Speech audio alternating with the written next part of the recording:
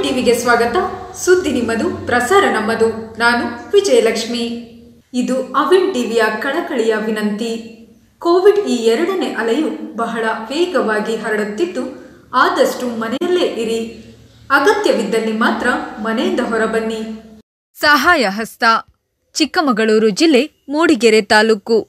ದಿನಾಂಕ ಇಪ್ಪತ್ತೊಂದು ಆರು ಎರಡು ಸಾವಿರದ ಇಪ್ಪತ್ತೊಂದನೇ ಸೋಮವಾರದಂದು ಕೆಪಿಸಿಸಿ ಪದಾಧಿಕಾರಿಗಳು ಹಾಗೂ ರಾಜ್ಯ ಮಹಿಳಾ ಎಸ್ಸಿ ಘಟಕದ ರಾಜ್ಯ ಅಧ್ಯಕ್ಷರಾದ ನಯನ ಮೋಟಮ್ಮನವರು ದಾರದಹಳ್ಳಿ ಗ್ರಾಮ ಪಂಚಾಯಿತಿ ವ್ಯಾಪ್ತಿಯ ಗ್ರಾಮಗಳಾದ ಹಾಲೂರು, ಚಕ್ರಮಣಿ, ಸಚಿನ್ ನಗರದಲ್ಲಿ ಕರೋನಾ ಸಂತ್ರಸ್ತರ ಕುಟುಂಬಗಳಿಗೆ ಆಹಾರದ ಕಿಟ್ಟನ್ನು ವಿತರಿಸಲಾಯಿತು.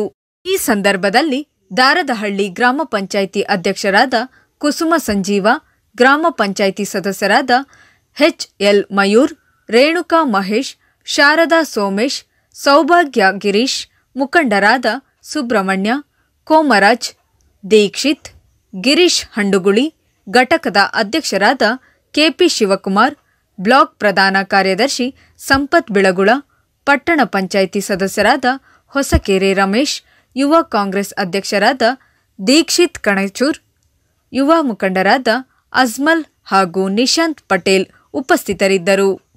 ವರದಿ ಮಕ್ಕಲಮಕ್ಕಿ ಗಣೇಶ್ ಬ್ಯೂರೋ ನ್ಯೂಸ್. ಬೆಂಗಳೂರಿನಲ್ಲಿ ಹೆಲ್ತ್ ಕೇರ್ ಸೆಂಟರ್ನಲ್ಲಿ ಕೆಲಸಕ್ಕೆ ಮಹಿಳೆಯರು ಬೇಕಾಗಿದ್ದಾರೆ. ನಗರ ಮತ್ತು ಗ್ರಾಮಾಂತರ ಮಹಿಳೆಯರಿಗೆ ಬೆಂಗಳೂರಿನಲ್ಲಿ ಕೆಲಸ ಖಾಲಿ ಇದೆ. ಹೆಲ್ತ್ ಸೆಂಟರ್ನಲ್ಲಿ ಅಡುಗೆ, ವೃತ್ತರನ್ನು ನೋಡಿಕೊಳ್ಳುವುದು ಹೌಸ್ ಕೀಪಿಂಗ್ ಕೆಲಸ ಹೆಲ್ತ್ ಕೇರ್ ಅಸಿಸ್ಟೆಂಟ್ ನರ್ಸಿಂಗ್ ಕೆಲಸ ಲಭ್ಯವಿದೆ. ಕೆಲಸಕ್ಕಾಗಿ ಇಚ್ಛಿಸುವ ಮಹಿಳೆಯರಿಗೆ ಬೆಂಗಳೂರಿನಲ್ಲೇ ಉಚಿತ ಊಟ ವಸತಿಯೊಂದಿಗೆ ಅಭ್ಯರ್ಥಿಗಳನ್ನು ಸಂಸ್ಥೆಗೆ ನೇರ ನೇಮಕಾತಿ ಮಾಡಿಕೊಳ್ಳಲಾಗುವುದು. ತಿಂಗಳಿಗೆ ಹತ್ತರಿಂದ ಇಪ್ಪತ್ತೈದು ಸಾವಿರ ರುವರೆಗೆ ಸಂಬಳವಿರುತ್ತದೆ. ಮೊದಲ ಮೂರು ತಿಂಗಳ ಅನುಭವದ ನಂತರ ಸಂಬಳದ ಏರಿಕೆಯಾಗುವುದು. ಅಸಿಸ್ಟೆಂಟ್ ನರ್ಸಿಂಗ್ ಕೆಲಸ ಗೊತ್ತಿಲ್ಲದ ಮಹಿಳೆಯರಿಗೆ ಸರ್ಕಾರದ ಮಾನ್ಯತೆ ಪಡೆದ ಸಂಸ್ಥೆಯಿಂದ ಬೆಂಗಳೂರಿನಲ್ಲೇ ಉಚಿತವಾಗಿ ಕೆಲಸ ಹೇಳಿಕೊಡಲಾಗುವುದು. ಹೆಲ್ತ್ ಕೇರ್ ಅಸಿಸ್ಟೆಂಟ್ ನರ್ಸಿಂಗ್ ಕೆಲಸಕ್ಕೆ ವಿದ್ಯಾರ್ಹತೆಗಳು ಐದನೇ ತರಗತಿ, ಏಳನೇ ತರಗತಿ, ಎಸ್ಎಸ್ಎಲ್ಸಿ ಪಾಸ್ ಅಥವಾ ಫೇಲ್, ಪಿಯುಸಿ ಪಾಸ್ ಅಥವಾ ಫೇಲ್ ಆದ ಮಹಿಳೆಯರಿಗೆ ಅವಕಾಶವಿರುತ್ತದೆ. ವಯೋಮಿತಿ ಹದಿನೆಂಟರಿಂದ ಮೂವತ್ತೆಂಟು ವರ್ಷದ ಮಹಿಳೆಯರಿಗೆ ಅವಕಾಶವಿರುತ್ತದೆ. ಮೊದಲು ಬಂದವರಿಗೆ ಮೊದಲ ಆದ್ಯತೆ.